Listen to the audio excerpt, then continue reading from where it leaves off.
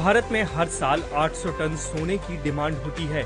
इसमें सिर्फ़ एक टन का उत्पादन भारत में होता है और बाकी एक्सपोर्ट किया जाता है। चीन के बाद भारत में गोल्ड की सबसे ज़्यादा खपत होती है। आज़ादी के समय यानी आज से छिहत्तर साल पहले उन्नीस में गोल्ड नवासी रुपए प्रति 10 ग्राम था जो अब 2023 में उनसठ हज़ार रूपए के पार पहुँच गया है।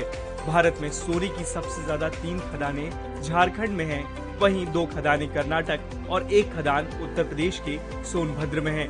यूएस जियोलॉजिकल सर्वे के अनुसार धरती से अब तक दो लाख टन सोना निकाला जा चुका है और अब सिर्फ़ पचास हज़ार टन ही बाकी है।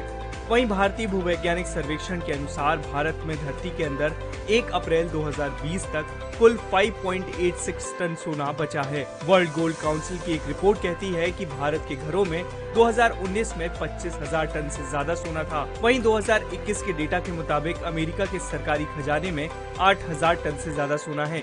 यानी यूएस के सरकारी खजाने से करीब तीन गुना ज़्यादा सोना हमारे घरों में रखा है। वहीं मंदिरों में भी सोने का विशाल भंडार है। भारत के मंदिरों में 4000 टन से भी ज़्यादा सोना जमा है।